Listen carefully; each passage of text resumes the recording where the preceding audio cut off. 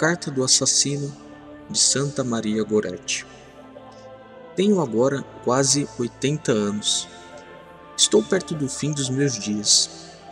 Olhando para o meu passado, reconheço que na minha juventude eu segui um mau caminho, o caminho que levou à minha ruína.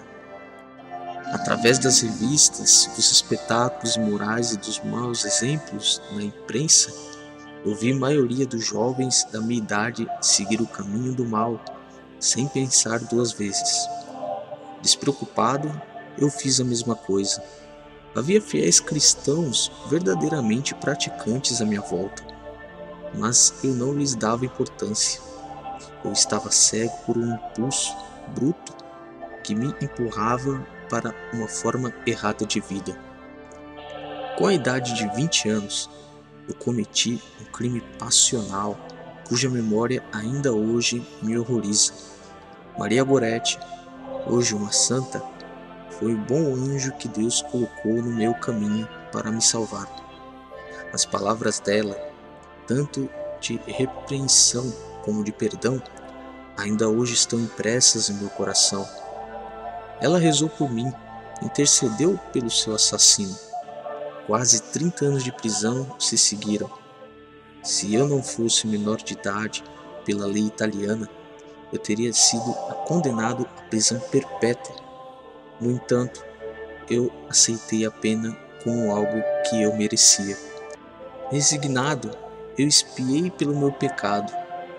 A pequena Maria foi verdadeiramente minha luz, a minha proteção. Com a ajuda dela, eu cumpri bem esses 27 anos na prisão. Quando a sociedade me aceitou de volta entre os seus membros, eu procurei viver de forma honesta. Com caridade angélica, os filhos de São Francisco, os frades caputinos menores, receberam-me entre eles, não como servo, mas como irmão. Tenho vivido com eles há 24 anos. Agora olho serenamente para o dia em que serei admitido à visão de Deus, para abraçar meus entes queridos mais uma vez e para ficar próximo do meu anjo da guarda, Maria Goretti, e sua querida mãe, Assunta.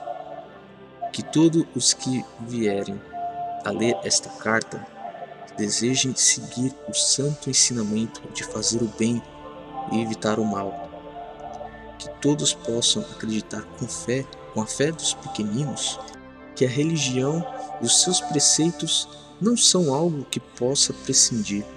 Pelo contrário, é o verdadeiro conforto e a única via segura em todas as circunstâncias da vida, mesmo nas mais dolorosas. Alessandro Cerelli, Macerata, Itália, 5 de maio de 1961.